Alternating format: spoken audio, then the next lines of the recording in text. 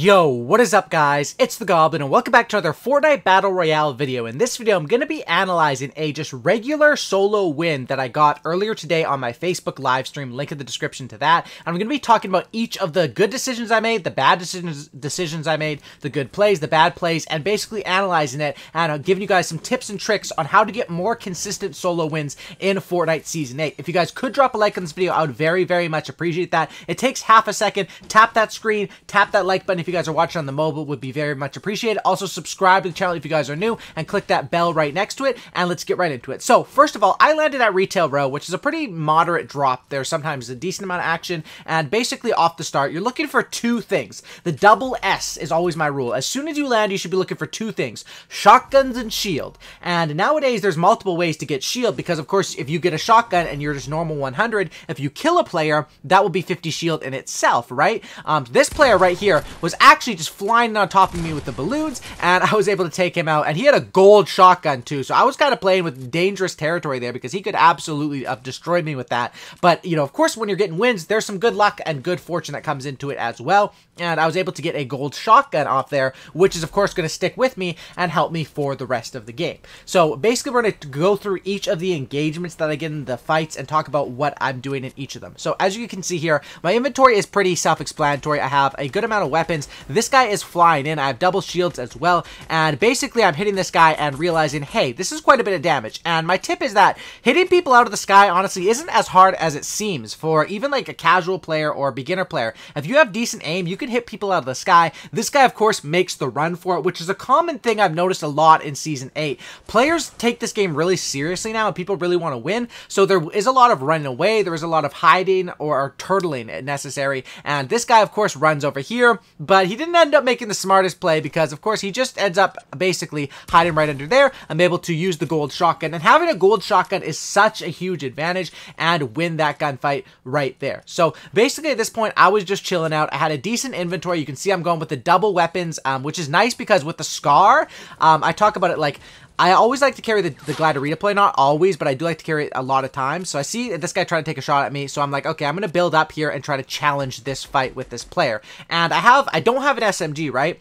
But the gold AR, it is good at finishing at finishing kills off because it's, like, AKs aren't as good as that, but an AR or a SCAR is actually good as a finishing weapon. So this guy, a, a good sign that you can see that you're fighting a decent player at least, or a good player, is someone that's doing a double reinforce when they're, they're doing, you know, floor, wall, ramp, stuff like that. You you can see, okay, this guy's somewhat decent. He knows what he's doing. And of course, I was just tracking this player and staying above him the whole time, trying to make sure I had height advantage. And I know this guy was a builder from before. So of course, he does go for the height advantage. I get that first crack there with the shotgun. And then once I get the first crack, it's all time for offense. And that's basically how it works. Offense, defense. I go on offense and that player tries to challenge me and I'm able to win that gunfight. So you can see we're still chilling and we're at a decent spot here in the top 20. And we move over here to where it's top 10 and I try to get position up on a mountain, right? And this guy comes, of course, and challenges me. So you can see here still with this inventory, when this guy goes for the challenge, I put the trap there just to prevent players from landing right on top of you. It is a smart move if you are more defensive and don't want them to land right on top of you. So this guy, I immediately put the pressure on him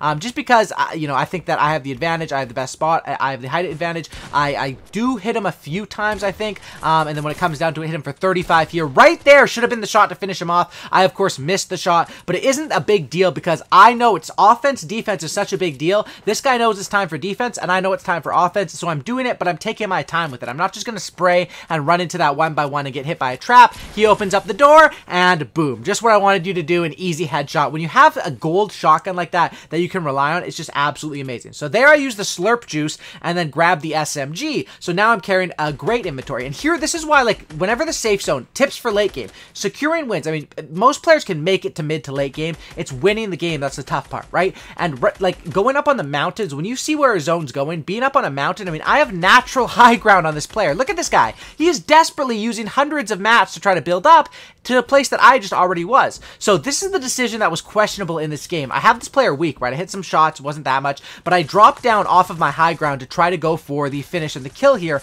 and this is kind of an interesting engagement. This guy, I, I, I fall into his one by one, and I make the decision when he places the trap to try to get out of there instead of just trying to turn and shotgun him in the head. Um, which I don't know if it was the right decision. Of course, it seems like it was because I was able to escape. I knew I had heals, and now, it's like I was talking about earlier, offense, defense is a key. Knowing when it's time for offense, defense. You can see right here, I know I'm knowing it's time for defense. I'm going down here to heal up, and I put that trap there just to scare people off. Traps are very useful to scare people off. They will not come into your one by one. Now, this guy gets the basically the replace on me. I end up going out the other side and try to regain high ground this way. I get a huge Kraken right there, so I realize even though I'm 117, I hit this guy for a decent amount of health, and I can go on offense. I'm on the high ground here. I'm going to heal up, only one. I'm going to go back on offense. This guy was a decent player. You know, he, he, he was making the right moves. He was making the right builds. He was tur he was he knew about offense and defense. He was turtling when it was necessary to, and when it wasn't necessary to, he wasn't. So right there, I use another mini just to get the extra eight health or whatever it is. Another player comes flying in, and this is the craziness of late game. This is the stuff that will happen,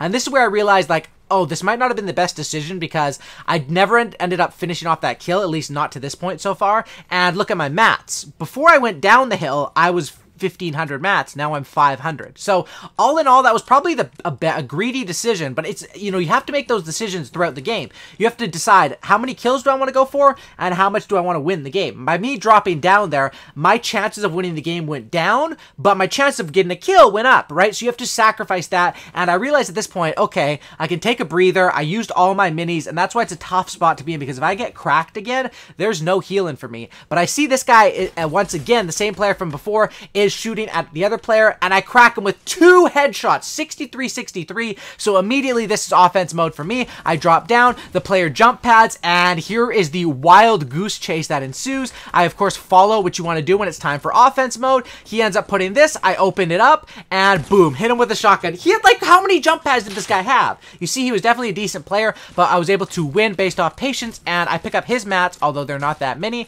and um, there I make a mistake. I did not mean to drop down there. Um, of course, that was a slight mistake, but it's all good. Mistakes happen, and, you know, there's no, that was not, I could have just popped my redeploy there. Of course, popping your redeploy does make you uh, vulnerable, and you glide down slower, so it's best to pop it at the last moment, but no big deal. I have a campfire. I actually have four campfires or three campfires, so it's not that big of a deal. I'm going to take my time and heal up. But I think that guy saw me me drop, or at least thought like he wanted to go aggressive on me. So that's why I was being careful here. I'm like, okay, this guy might be trying to play aggressive and try to do, um, you know, be pulling up for a kill on me. I'm not sure. Right there, that one expires just because I was stepping off it so much, but it wasn't a big deal. I had so many of these different campfires. So next I go over here. I pick up, of course, it's either two minis or, or the one big pot. I decided to go with the one big pot because why not? This guy over here, I end up killing, which, dude, it's so nice to have like a scar or, and like, it's so reliable. And here I make the executive decision. If I had a lot of mats, I wouldn't go down here, go into the storm, give up my good positioning. But I did that to get the mats, which wasn't worth it.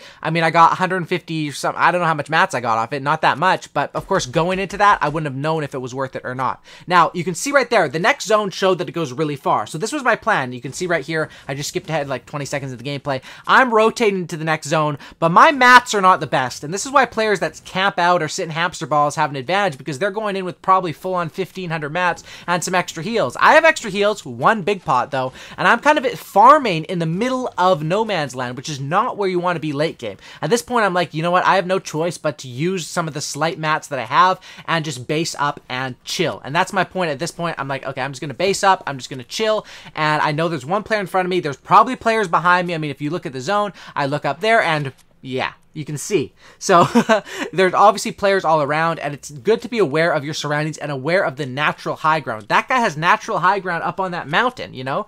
So he has a huge advantage there. So basically what I'm going to do here is I'm just chilling out. I realize I'm not in the best spot. Look, I get hit again. I'm getting hit from all angles. I'm like, I'm, this is not where you want to be. You you want to be in good position, but you don't want to be in the middle of everyone when it's like a four, uh, like five or less players less, or like pretty much ever, right? So at this point, this is where I drop down and I sort of camp mid-level in my base, which is smart. Most people either think you're at the top of your base or you're out of it, not camping mid-level. So that's what I decided to do here. And this is where I open it up and I notice, oh my goodness, there's one player right there in the storm. I'm able to get that guy, uh, the kill with that off that player, um, and then I'm able to, once again, put my efforts into this player. But you can see this guy, he doesn't really know where I'm at. He's spraying, so this is definitely a tip. You want more wins? Late game play in the middle of your builds like this is kind of smart. Now, at this point, I'm thinking already, I remember this because this was just like a couple hours ago when I got this gameplay, uh, compared to when I'm doing the commentary. I was thinking, okay, if I do kill this guy, because I know he's in low health, Am I going to run over there and go for his mats? Or just go straight into the next zone because look where the next zone is. So right there, I'm like, okay, I'm going to go for the mats. And then I realize, oh crap, it took me too long to kill him.